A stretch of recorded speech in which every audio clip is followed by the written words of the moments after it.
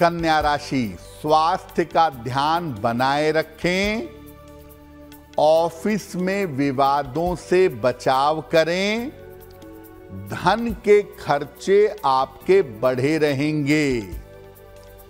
काले चने का अगर दान कर दें तो दिन की मुश्किलें कम हो जाएँगी। शुभ रंग होगा आपके लिए फिरोजी। और भाग्य का मीटर आपको नंबर दे रहा है 60 प्रतिशत मेहनत ज़्यादा होगी, भाग्य थोड़ा कम रहेगा।